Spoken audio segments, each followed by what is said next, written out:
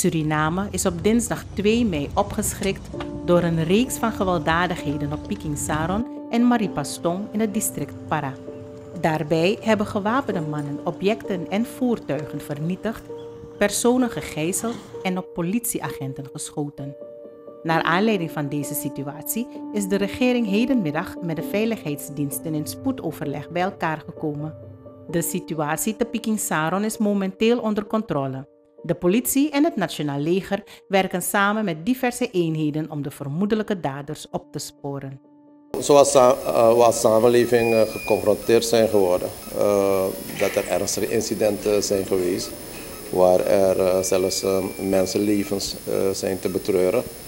en dat betreuren we, maar er ook gewonden zijn gevallen. in het gewapend conflict, als ik het zo voorlopig mag uitdrukken.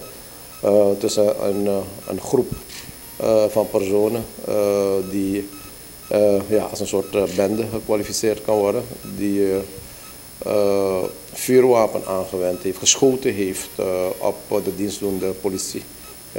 daar de, de wacht en de post te Pikizaro.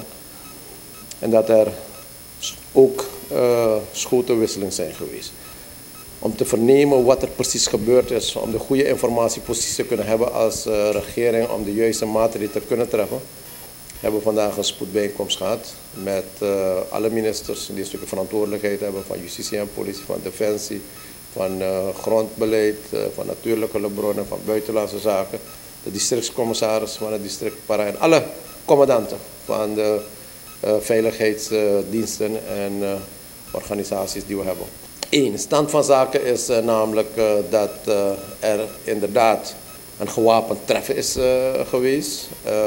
er zijn doden gevallen die we betreuren aan de zijde van de aanslagplegers. Hun identiteit wordt nog vastgesteld. Er zijn gewonden aan de zijde van de politie. het zijn allemaal personen die nu behandeld worden. Er zijn gewonden aan de zijde van medewerkers van Grasalco en andere burgers. Uh, wat dat betreft uh, vindt het onderzoek op nog steeds plaats om te vernemen wat er aan de hand is. Er waren voertuigen gestolen, meegenomen door de aanslagpleger. Die voertuigen zijn allemaal achterhaald gevonden. Er is wapentuig, handgranaat ook in beslag genomen. Uh, er is ook richting Grasalco bij uh, Maripastong uh, wat incidenten geweest. Dus we moeten rekenen dat er twee zijn waarover het gaat. En wat nu ge gebeurt is namelijk dat de veiligheidsdiensten, leger en politie, gemengde eenheden, alles eraan doen om te zorgen voor opsporing, voor nasporing van de personen die verantwoordelijk zijn, orde en rust te brengen in het gebied Personen die geïsoleerd zijn, ondernemers die geïsoleerd zijn, trucks en chauffeurs die geïsoleerd zijn. Allemaal de nodige bescherming te geven dat ze hun weg vrij kunnen uh, vinden om, hun, uh, om naar Paramaribo te komen en of andere uh, economische activiteiten te ontplooien. Bescherming van de leefgemeenschappen, dat is ook een andere opdracht die gegeven is. Maar tegelijkertijd moet een overleg en er wordt vanavond overleg uh, gevoerd met de verschillende uh, dorpszoden, met de kapiteins, om na te gaan wat er precies aan de hand is. Uh, wat zijn de issues? en nu al blijkt namelijk dat er de afgelopen tijd er veel overlegmomenten zijn geweest over gronden die uitgegeven zijn, concessies die uitgegeven zijn. De ministers die zijn hier aanwezig en het ministerteam waar minister GBB ook zit, maar samen met DC die moet ook grondig onderzoeken. Namelijk, waar zijn die gronden uitgegeven? Waar zijn die concessies uitgegeven? En als we ze moeten opschorten, dan gaan we ze opschorten om een goed onderzoek te laten verrichten. Maar het mag uh, niet zo zijn dat uh, er uh, beslissingen zijn genomen die indruisen tegen de leefgemeenschap, die indruisen tegen de grondrechtenvraagstukken. Maar het moet goed onderzocht worden. En daarvoor is die opdracht ook gegeven om met goed overleg duurzame oplossingen te zoeken voor die uh, gronden en concessies uh, die uitgegeven zijn.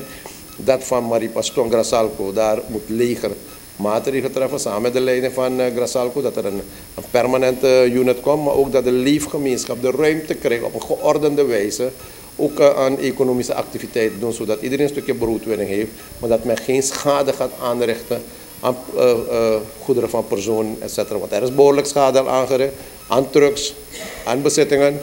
En al deze personen die daar verantwoordelijk zijn, die gaan we ter verantwoording moeten roepen door de justitie. Maar tegelijkertijd wordt er een totale inventarisatie ook gemaakt van alle schade wat is aangericht in het gebied. De berichtgevingen, wat heeft het met u gedaan als staatshoofd wanneer u dit alles hebt vernomen? Natuurlijk is het schokkend als je als land als samenleving, zeker ik als eh, president dit moet vernemen, dat Surinamers op deze wijze met elkaar omgaan. We hebben een gewelddadig verleden. Dat ligt daar zo, vers in ons geheugen. Laten we alle vraagstukken met dialoog oplossen. Laten we alle vraagstukken met overleg oplossen. Laten we alle vraagstukken oplossen op een wijze zoals we dat gewend zijn in Suriname. We takken aan elkaar. Vernietigen, voelen we chiri. En laten we alle problemen op een ordelijke wijze oplossen. Maar aan de andere kant roep ik ook vanuit deze plaats aan ieder op om alle informatie wat men heeft. Om dat door te geven aan de autoriteiten. We kunnen in het land niet hebben dat wij personen hebben die om welke reden dan ook en welke agenda dan ook, want dat moet allemaal nog onderzocht worden, tot zulke gewelddadige acties overgaan en zelfs uh, waarbij uh, mensen uh, levens te betreuren zijn. Dat betreur ik als president, dat er doden zijn gevallen, dat er gewonden zijn gevallen.